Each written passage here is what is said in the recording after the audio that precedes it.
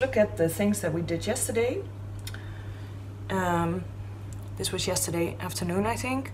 So I filled up this entire mold all the way to the edge. But what I can see now is that it's already been shrinking quite a lot.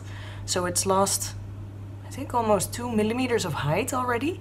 And you can really see that it's, it's shrunk into the holes there. You couldn't see those holes yesterday. It was just completely flat and even on the top.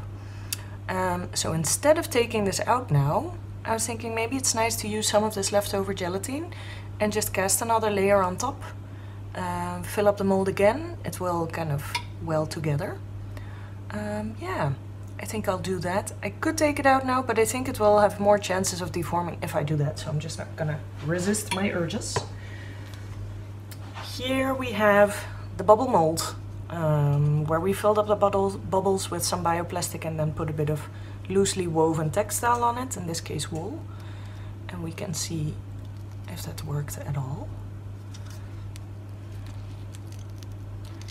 So you don't want to tear it too hard because you can tear stuff apart that you want to keep together. So just gently try to loosen it up. Oh, that's looking very cool.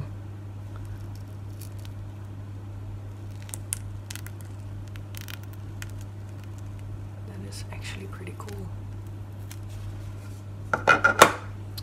And there you have it. So that's one thing you can do.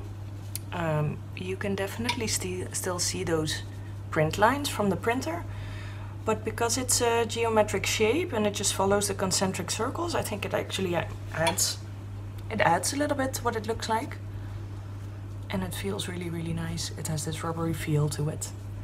Uh, the back of it really still feels like a textile, maybe slightly stiffer. And on the top, um, at the end I really distributed some bioplastic also in these areas where there's no holes. So this side is slightly covered with a layer of gelatin bioplastic. Um, which I think works well because then there's a nice transition between where the bubbles are and where the bubbles stop, let's say. So I'm pretty happy with that. Um, I have a little cat hair here. It's really risky to work with cats in the house. See if I can take it out. And then it's a matter of um, drying it even more. As long as it's like cold to the touch, you can feel that it's a bit cool. Um, it's basically still wet, so it means there's still a lot of water in there. You know that something is completely evaporated and completely dried when it doesn't feel cool anymore. Then it just feels warm, like you can really feel the difference between what the textile itself feels like. It's kind of warm to the touch, as opposed to the plastic which feels significantly colder. So that's how you know when it's uh, fully dried. I hope it doesn't shrink and deform, but I have a pretty good feeling that this will be okay. So that's nice. And then what we also did was um, make a um, textile composite. So we drenched the bio, the textile in bioplastic, trying to do a very, very thin layer, no blobs. And I can already tell that I put a little bit too much. It was really hot, so it was tricky to uh, do that. I might have to try it again. This is very easy to demold. I can just take this bit off. And then, well, you can see it's really hard and stiff and there's some more blobs at the edges but I can trim those off if I wanted to. I'm gonna see if this wants to release. So this is a bioplastic with a lot of plasticizer so it's still, it will still be rather flexible. Some of my balls have gone inside and I have to push them back out.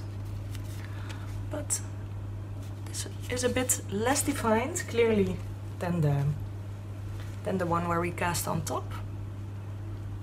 It's less defined, but it's it's still kind of an interesting way to give some texture to a textile and it remains sort of flexible and uh, pliable. So that's a little technique you can explore.